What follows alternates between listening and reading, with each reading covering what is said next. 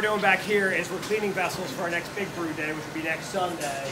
Uh, so right now we're just circulating uh, PBW, caustic cleaning solution, in that Uh, but this is typically where we brew, in the back here. Uh, what you'll notice, if you've been to a few places, that we are missing a few vessels here. Yep. No hot liquor tank, no mash lauter tun, no boil kettle. They're all one individual vessel. Uh, so if you notice on this guy that John and Joe are working on back here, five 10,000 watt three-phase heating elements. Right? Wow. Uh, so those are plenty to take us to our mash temperature, then up to boil, and then uh, it's a jacketed uh, vessel. So you notice a little bump out in here. There's a half inch space in between that we can run. Uh, we do water cooling here. Uh, so we'll run groundwater at first, and then we'll transition over to one of these guys, which is a small individual water chiller to get to our fermentation temperature. Uh, so to mash in, if you want to come over here,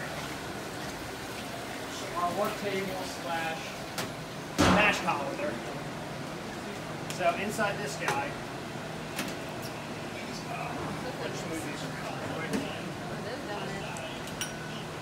Is that, is this the one that's uh, Oh, the Kevin cocoa Oates in? Uh, we're doing a peppermint chocolate stout. Chocolate You had me at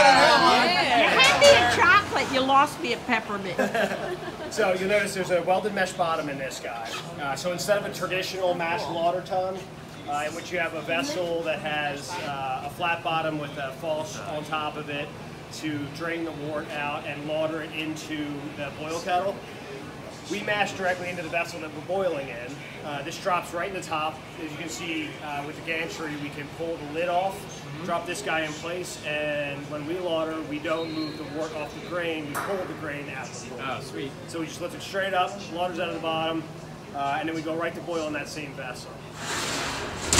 The advantage that gives us is a couple things. One, fewer vessels to actually clean, right? So instead of uh, having to clean out a mash lauter tun and a boil kettle and then into a fermenter, uh, it all stays in the, the same individual vessel from mash in until we transfer to keg for service.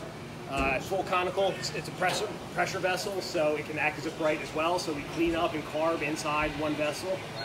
Um, also, because it's it's boiled inside of that vessel, everything's heat sanitized.